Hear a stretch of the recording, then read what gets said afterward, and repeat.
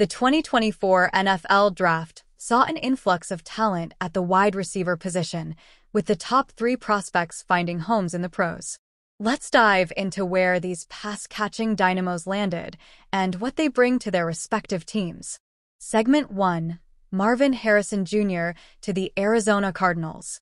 Marvin Harrison Jr., son of NFL Hall of Famer Marvin Harrison Sr., joins the Arizona Cardinals as the fourth overall pick. With the departure of key receivers, Harrison fills a crucial role alongside quarterback Kyler Murray. Drawing comparisons to NFL star CeeDee Lamb, Harrison's exceptional hands and route running make him a promising addition to the Cardinals' offense. Segment 2 Kayshon Nabers to the New York Giants. The New York Giants bolster their receiving corps by selecting Kayshon Nabers, a standout from LSU. Nabers, known for his explosiveness and reliability, aims to provide much-needed support for quarterback Daniel Jones.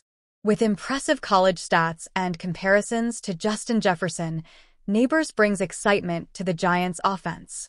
Segment 3 Rome Odunze to the Chicago Bears. Rome Odunze lands with the Chicago Bears as the ninth overall pick, adding firepower to an already formidable offense. With quarterback Caleb Williams at the helm, Odunze joins a talented group of receivers, bringing his speed and playmaking ability to the table.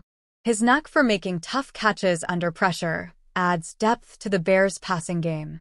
The 2024 NFL Draft showcased the next generation of wide receiver talent, with Marvin Harrison Jr., Kayshon Nabers, and Rome Odunze poised to make an impact for their respective teams.